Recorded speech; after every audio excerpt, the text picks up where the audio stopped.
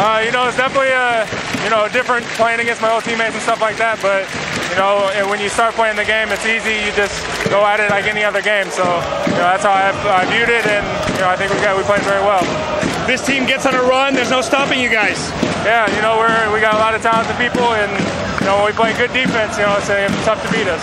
You mentioned before that it was gonna be a lot of fun playing them.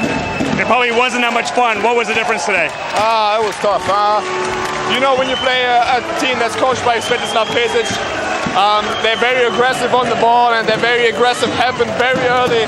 And so what they give up sometimes is the weak side three-point shot. And uh, we took a lot of shots, we took a lot of threes, and after the first make, uh, we went one for 20 in the first half. And that just takes a lot. You know, a lot of guys are frustrated, a lot of guys miss shots, and then you don't have something to feel good about yourself, and then that takes away from your energy defensively. And sometimes it just goes. It was a struggle. It was really a grind for us today. After the game, you got the guys together. What did you tell them? Uh, I told them that uh, you can never forget uh, at what point of the season we are right now. We had a rough uh, Euro Cup season, and uh, you know we had some, and everybody is under uh, tremendous stress. Munich's playing EuroLeague, so but so it was we really beat up right now, and it's Christmas time, and this is the time where now we got a couple off days.